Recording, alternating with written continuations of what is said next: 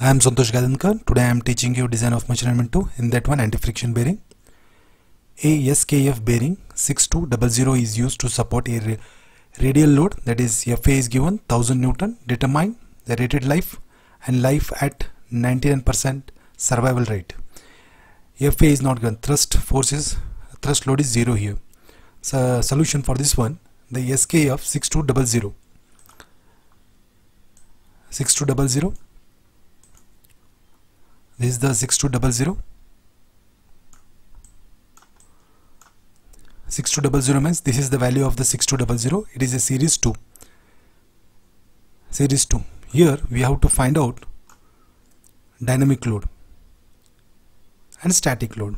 But I have given here dynamic load. This is the load. Dynamic load. 5070 dynamic load is there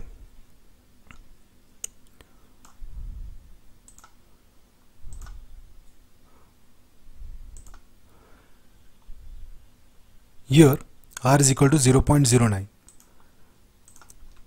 First you have to find out the rated life. The life of the bearing L is equal to C divided by P raised to 3.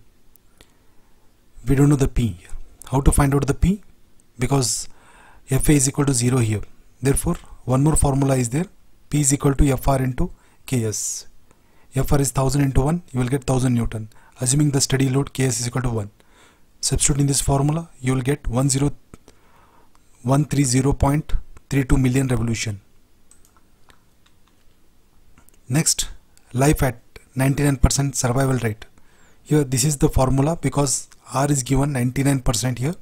Substitute in this formula. But here in place of L10 you have to substitute this value in order to get the L value. L value.